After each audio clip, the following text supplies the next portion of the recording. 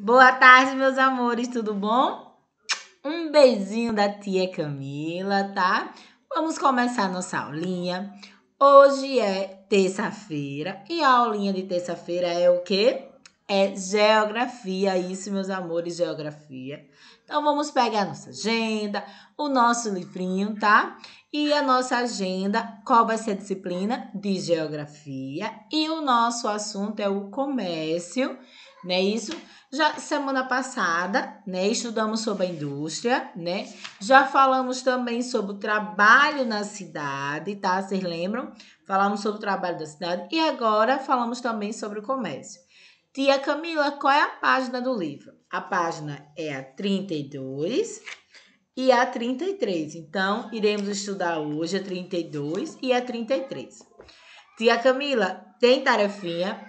Tem sim, meus amores, na página 32 e tem tarefinha também na página 33, tá? A gente também tem um desafio, que é bem legal. Então, vamos começar? Vamos pegar o nosso marca-texto, tá? E vamos acompanhar a nossa aulinha, né? A leitura da tia Camila, tá bom?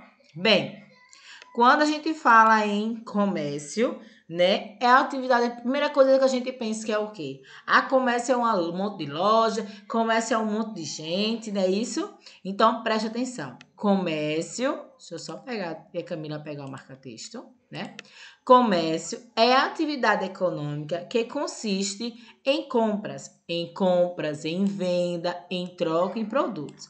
Então, se a tia Camila perguntar, né, na tarefinha, o que é comércio, né? Como define, como você vai definir o comércio? Então, você vai definir em compras e vendas, em troca, né? Isso de produtos também. Aí, aí tem assim, restaurante, padaria, supermercado, farmácia, loja, roupa, loja de roupa, calçado, loja de imóveis, né? Outros exemplos de estabelecimento também, atividade de comércio que está envolvida. Eu queria chamar a atenção de vocês numa coisinha, tá? Que a tia Camila pesquisou. Bem, chamar atenção, preste atenção. A atividade do comércio não se restringe às cidades. Ela também é realizada no espaço rural, tá? Então, não é só porque é na cidade não, tá bom? Então, na parte rural também, ela e lá, lá também existe o comércio. Aí aí, né, vocês estão vendo aí uma foto do shopping, morrendo de saudade, já quero, né? A foto do shopping, né? Amo, não tenho dinheiro, mas vou passear, né? Do shopping. Então, assim, de loja, de um monte de gente, né? De aglomeração, tô sentindo falta disso.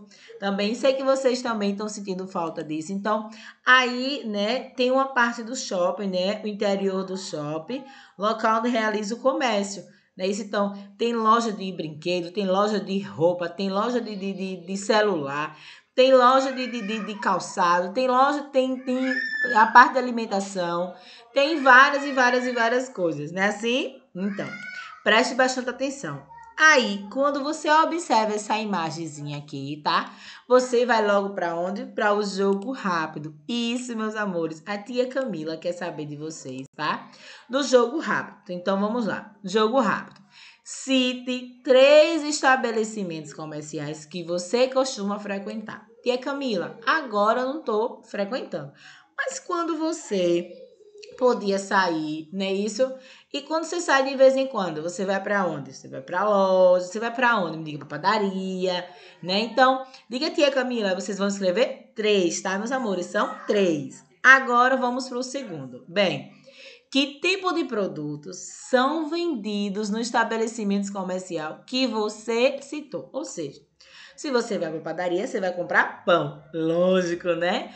Às vezes, quem vai pra padaria vai tomar um cafezinho. Tem padaria que tem um cafezinho, né? Quem vai, às vezes, tem loja de sapato que vai, além de comprar sapato, comprar roupa, né? De comprar roupa, comprar joia. Então, ali já vende tudo. Então, a tia Camila quer saber, né? Isso, o estabelecimento que você frequenta, né? Que tipo de produto, né? É vendido naquele estabelecimento que você gosta, que você gosta tanto ir. Eu sei que agora não, mas quando você ia, ia com a mamãe, né? Com a vovó, com o papai, não é isso? Então, qual é o estabelecimento que você gosta de ir? Bem, aí, preste atenção. Desafio. Então, quando palavra desafio, como, demonst como demonstrando, tá vendo? Como denominado, desculpa, como é denominado comércio realizado por meio da internet.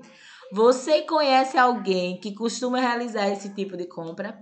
Você sabe se a mamãe compra pela internet, né? Você sabe se o papai compra pela internet, né? Aquele, aquele produto que assim, a mamãe diz, olha, chega o carteiro, já, já, ainda bem que já chegou esse produto, que eu comprei pela internet. Isso.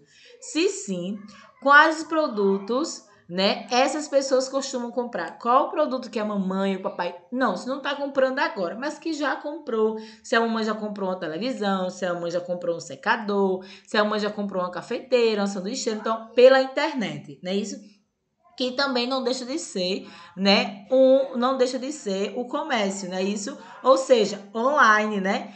Lembra? Ó, então, a parte do comércio online já vem de muitos e muitos e muito tempo não é de agora, tá? Então, preste atenção, não é de agora a parte do comércio online. Esse eu queria chamar a atenção de vocês, tá? Então, vamos ficar assim. Vocês irão fazer também. Então, além da tarefinha do primeiro e segundo, vocês irão fazer no caderno né? Isso vocês vão pegar o caderno de geografia e vocês irão falar. Se sim, né? Quais são os produtos? Se não, tudo bem. Se não, já escreva aqui. Se sim, se não der para escrever aqui, se sim, os, os produtos, né? Pode fazer no caderno. Se der, tudo bem. A Camila já aceita, tá bom? Agora, vamos para a prestação de serviço. Isso, meus amores. Vamos para a prestação de serviço. A Camila vem para cá. E quando eu falo em prestação de serviço, deixa eu só aumentar, tá? Eu tô falando em prestação de serviço, né? Na página 33, eu vou lá. Bem, prestação de serviço é o quê? Não é isso? É aquele profissional que está ali para ajudar, que os vendedores também estão ali para ajudar, sabia, no comércio, né? O dentista, né? Aqui tem o, costu, o, o, o costureiro, então não é só mulher, tá? Também tem homem, eu queria que chama bastante atenção nisso, então vamos lá. Prestação de serviço.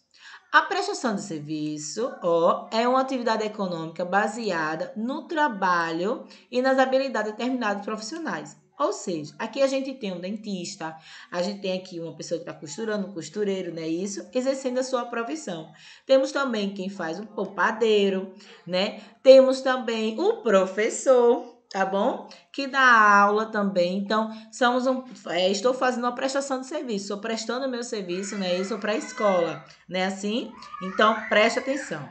Além dos profissionais que aparecem na fotografia aqui em cima, esses dois, tá? Ó, esses dois, né? Existem muitos outros profissionais, prestadores de serviço, como o médico, o encanador, o motorista, o advogado, o fisioterapeuta e jornalista. Agora vamos.